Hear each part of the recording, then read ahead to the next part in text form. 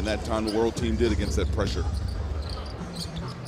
Archie Goodwin get it back on top. Muhammad, he's not afraid to take that shot. Leans in with that left hand, can't get it. Bennett with a rebound and gives it up quickly to Mahalik. Wiggins with a floater with a right hand. Andrew Wiggins, whose father, Mitchell Wiggins, of course, played in the NBA. He is the youngest player on the floor and ranked number one in his class. And I think he gave you an opportunity to see why on that play there. Leo Westermann gives it up. Wiggins lets it fly for three. They're going to call it a two. Not only did he let it fly, he played with it a little bit there. And nice jab step to create that jump shot. Here is a young man that has come to play. I mean, in the open court, he goes and attacks the hole under control. Nice little floating jumper.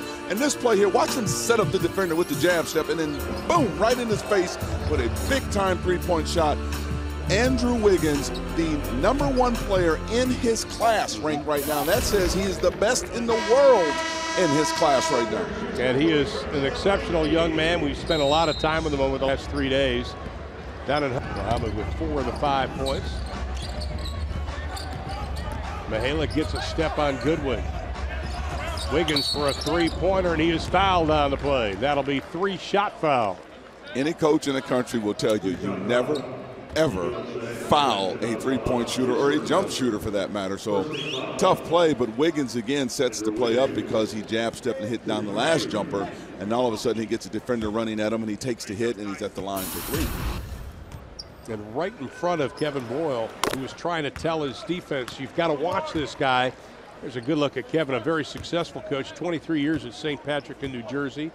Moved to Montverde this year and had an outstanding season, has a great class coming back, but he was screaming, guys, you got to rotate over and watch this kid. Well, no kidding. If you remember in practice, here was somebody that was a great communicator, teacher, and mm -hmm. motivator Tusha. Number 14, Tony Parker comes in out of Atlanta, Georgia, the suburb of Lithonia. Three by Wiggins, no good. Sarge can't get it. The pressure needs to be pushed up and then get out and run in transition. Wiggins gets hit as he lets it fly. Sarge can't hold on to it. It'll belong to. Tough on defense. Knock down open shots, almost like they just continue to clone those guys at Michigan State. Tom Izzo talked to him earlier, and he talked. Out of Little Rock, Arkansas. Again, he's best at attacking the basket, great athleticism. Going to be a great addition for John Calipari at Kentucky. And that won't go, but we've got a whistle and a foul. Sulaimon, another one of those very intelligent basketball players. You know, very smart in the mm-hmm. classroom, smart on the court. He plays hard. When you talk about teams reloading Duke and the prototype Duke player, Duke point guard, there he sits again. I'm very impressed with where they just continue to reload that system with exactly the same piece that they lost. He's going to be pass it. He can dribble it. He makes the right plays. At six foot eight, he does all this. But again, a defensive lapse as Wiggins just slashes right through. Remember, Wiggins is 17 years old. Yeah, but he's playing beyond his years oh. right now. He's and on the other end, Wiggins is just an outstanding athlete, plays above the rim. Play tremendous explosive athlete, long that can block shots. And Wiggins, though, comes right back and answers it. Wiggins with a dozen points in the ball game to go along with three rebounds. The inbounds pass It's funny. Says when he played for his dad, he didn't like it when he was younger. It just really kind of bugged me. but now he knows.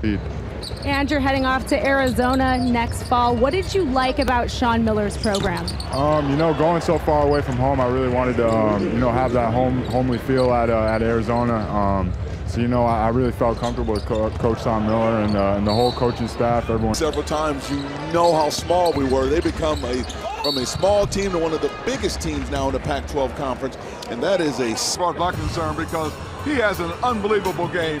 He gets set with the speed. He can attack the bucket. He knows when to jab. Watch this jab step. That's an NBA jab stepping up a la Kobe Bryant. And then again, he finishes. He's such a great athlete. He knows and knows how to play the game. He knows how to set you up. He can shoot three. He can get to the hole.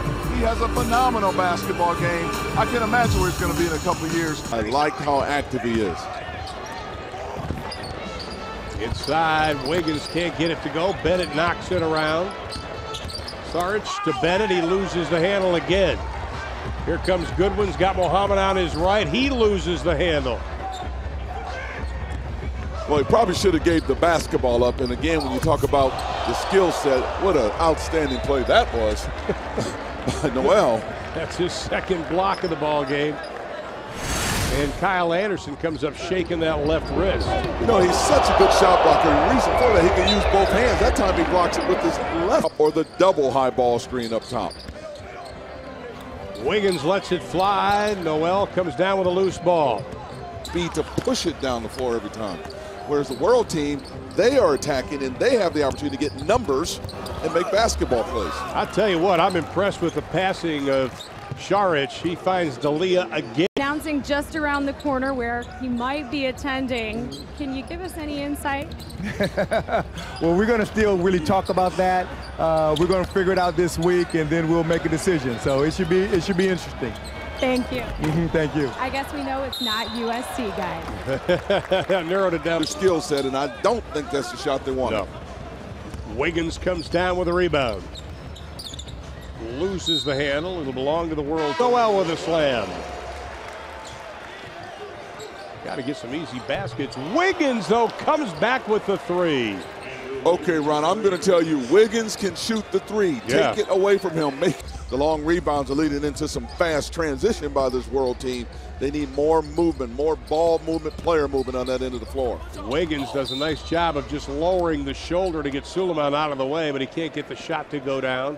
Ball will belong to Team USA. When he also announced a nine-point game. Kevin Boyle wants the pressure, and they're getting it. Westermann tries to dribble away from it. Fans wanted a walk. Wiggins for three.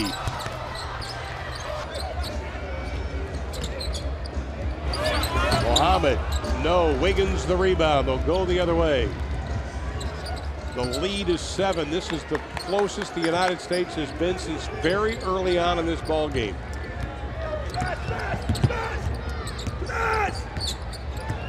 Wiggins a lot of dribbling, and Harris just reaches around, count the basket, and a foul. You know, again, this is all set up with the pick and roll. USA needs to maybe switch this, even though it's a mismatch on the switch. They're having all kind of problems trying to guard this. He comes off the pick and roll, comes right back in and gets around the defender. On-ball defense has been lacking in this game. Gets him into his shooting pocket right in the lane, and the and one is right there with the reach around. And he misses the free throw, but that has to be one of the most priceless things I've ever seen.